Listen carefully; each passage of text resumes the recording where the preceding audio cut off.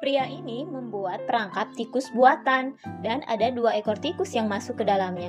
Namun pria ini bingung ketika menyapu perangkap itu, tikusnya pun hilang. Kira-kira ke mana tikusnya ya guys? Wow.